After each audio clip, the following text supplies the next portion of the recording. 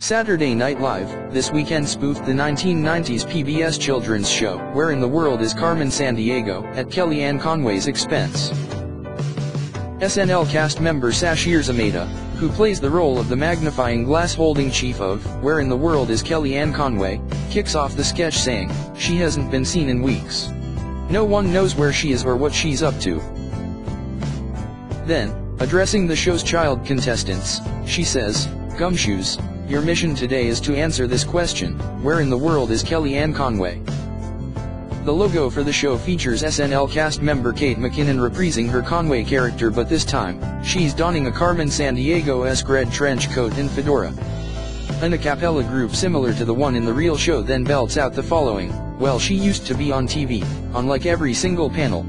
One day we all woke up and she was no longer there. What could have happened? She is not on any channel, no. Tell me, where in the world is Kellyanne Conway? Acme senior agent Greg Lee, played by SNL cast member Mikey Day, then asks the contestants, are you guys ready to help us find Kellyanne Conway? Responds one of the precocious contestants, Stephanie, responds, well, we don't want to find her. Day's agent Lee accepts defeat, saying, okay, yes, that's our show. Seven weeks and no one can find that woman.